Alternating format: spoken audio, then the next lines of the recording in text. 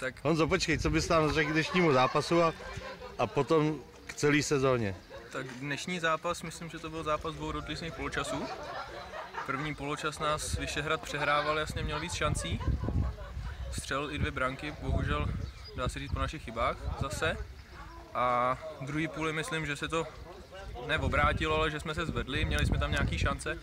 A škoda, že se nám podařilo eh, snížit až v závěru, možná když jsme snížili o trošku dřív, tak jsme mohli pomýšlet eh, i na remízu, nebo i možná navíc, kdyby jsme proměnili nějaké šance, co jsme měli.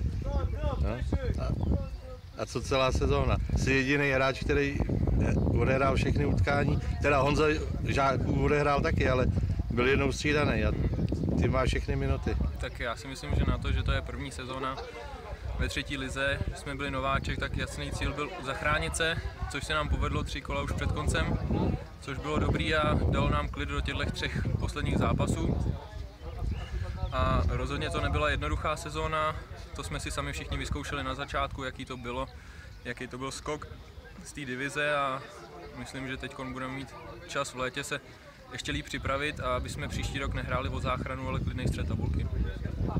Tak já ti děkuju a Já hezkou dovolenou. Tobě taky.